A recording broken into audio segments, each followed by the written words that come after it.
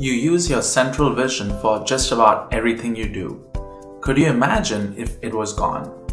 Unfortunately, people over the age of 60 have a risk of an eye disease known as macular degeneration that damages your central vision. Macular degeneration, which is also known as age related macular degeneration, is an eye disease where there is damage to your macula, which is the area of your eye that is responsible for capturing your central vision. A few of the main risk factors for developing macular degeneration include advancing age, smoking, long-term sun exposure, a diet low in vitamins, having a family member with macular degeneration, and being white. There are two main forms of macular degeneration, the wet form and the dry form. The dry form is much more common and often leads to gradual vision loss and needs to be monitored carefully over time and it can develop into the wet form.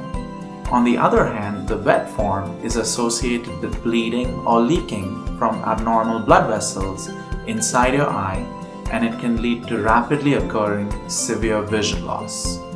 If you are at a risk of having macular degeneration, make sure you schedule an appointment with your local eye care professional today.